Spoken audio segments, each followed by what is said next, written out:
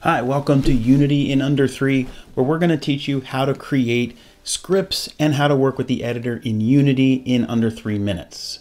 Today we're talking about setting an object's position. So in one of our previous videos, we talked about resetting an object position. So that means that it's going to go back to where it started at the beginning of the game. But what if you want to just be able to click a button and have an object move or change places or even reset a player if they get stuck somewhere? Today, we're going to talk about setting an object's position.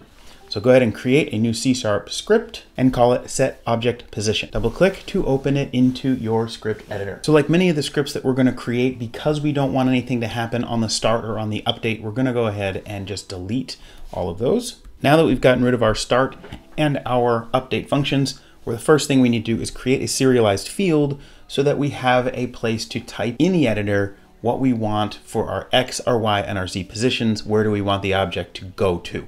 So we're going to create a serialized field by creating brackets and just typing in serialized field. So what we've done is created the serialized field and we made it private.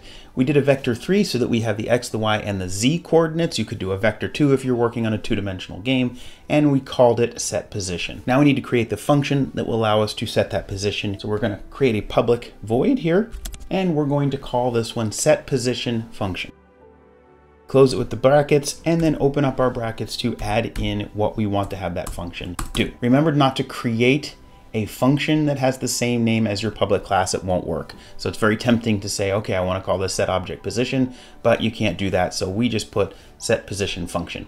Now we're going to tell it what we want to do. We want it to transform because that is moving something from one place to another within script is transform. So we're going to call it transform. We're going to call it position. And then remember up here where we set this set position, we're going to set it to that equals set position. Now it's all set to go.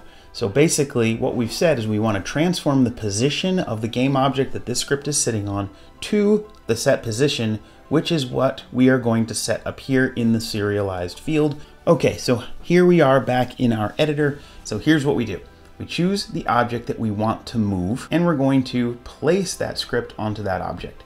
Now notice it will automatically say 0, 0, 0, so we're gonna set it to 10, 1, 10. So now that's set there. So for that to occur, I need to call it, and in this case, we're gonna call that function by using this button right here that is set position. So we're gonna call this set position.